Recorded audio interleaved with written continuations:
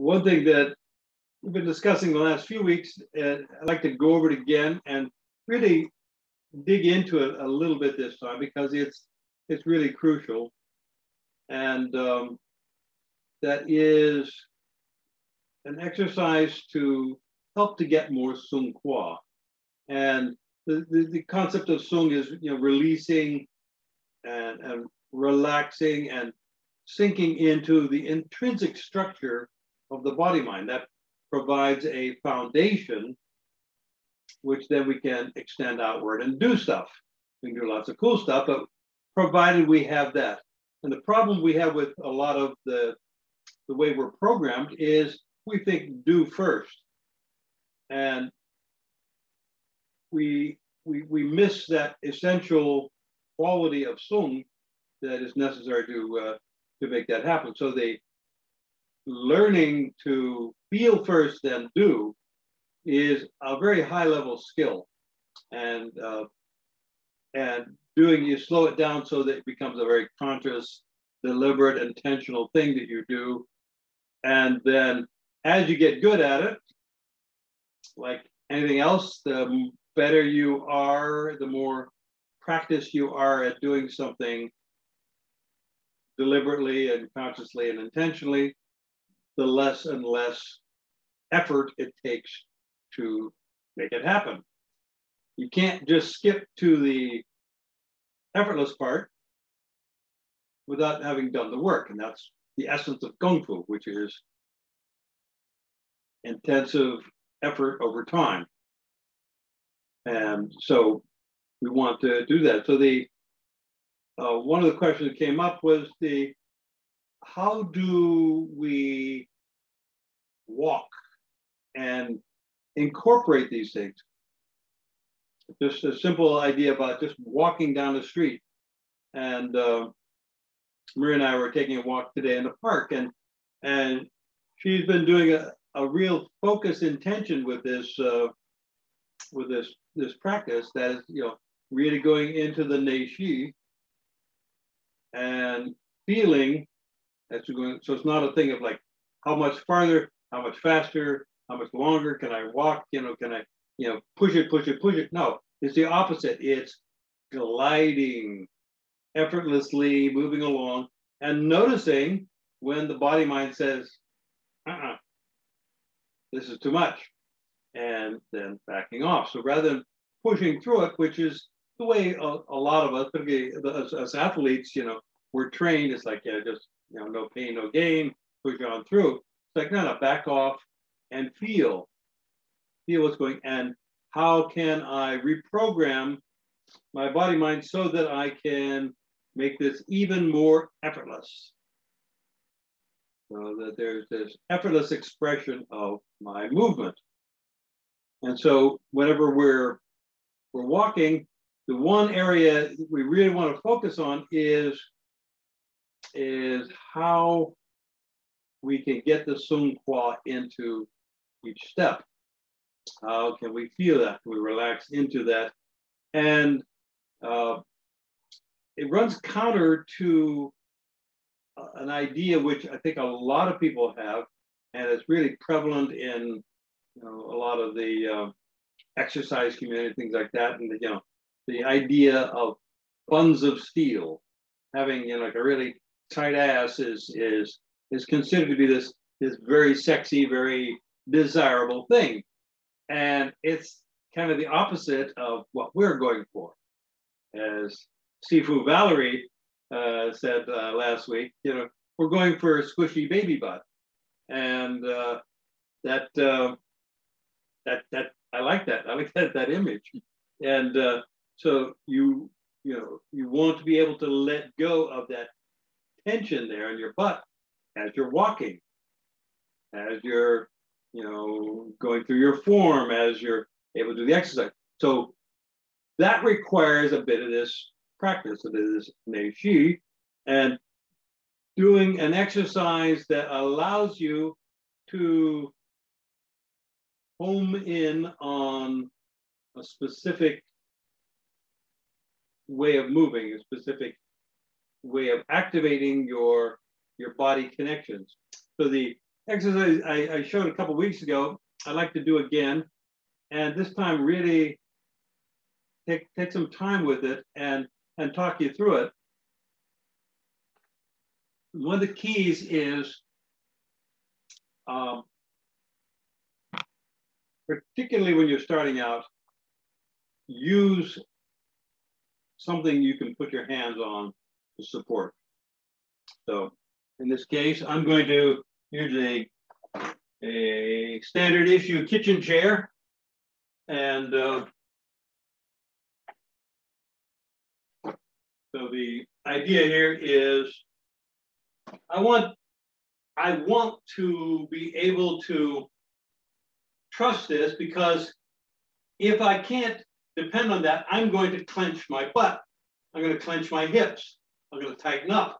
And so to be able to have hips that are, are smooth and efficient, you need to be able to get the, the all those muscles which are desperately trying to keep you safe and, and allow, give them instructions to relax, to, to let go. And it helps if you have something to hold on to.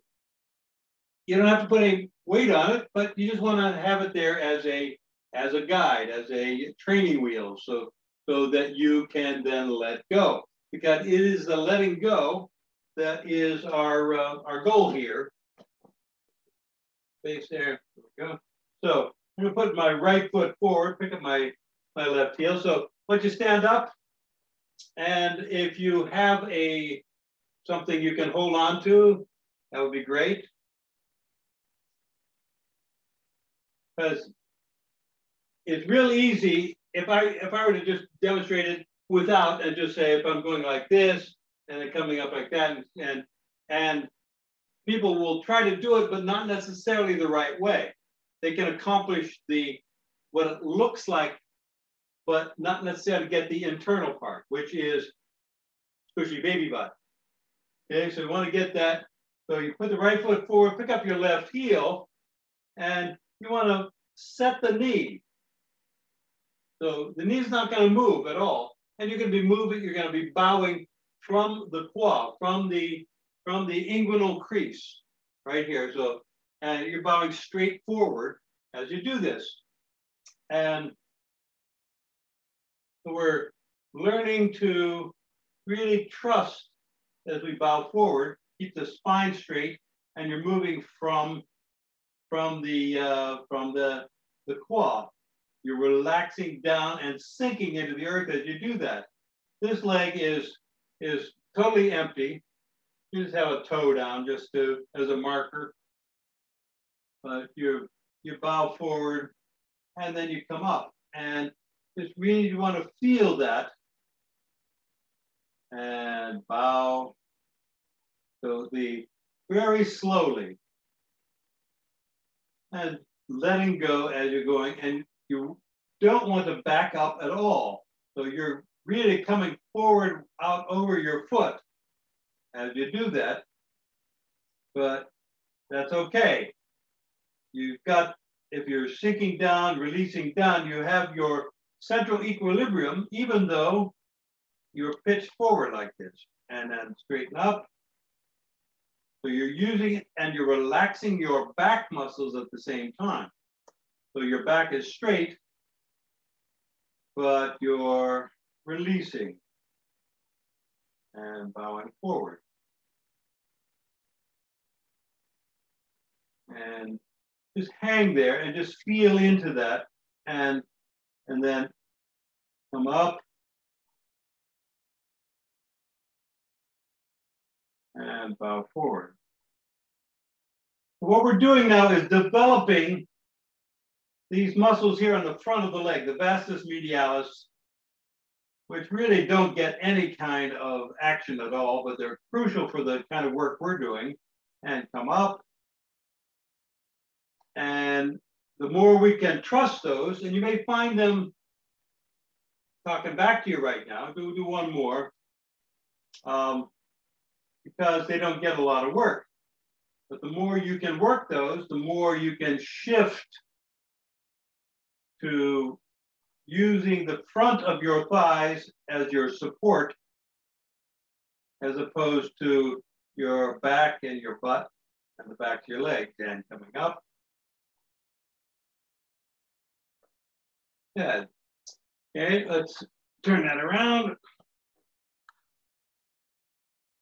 We use the left leg now, so you really want to get nice and loosey-goosey with that right leg. The right hip is really disconnected.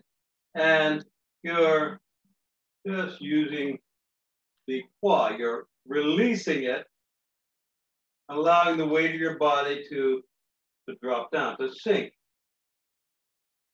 Just a note, you are not shifting your knee forward. You are not going lower with your leg. You're just yeah. The knee, the knee is set. Notice that the knee is not moving at all. It's not moving. It's not going like this or back. It's going not going to the side. I'm not spiraling down. I'm going just bowing straight forward as I'm doing this.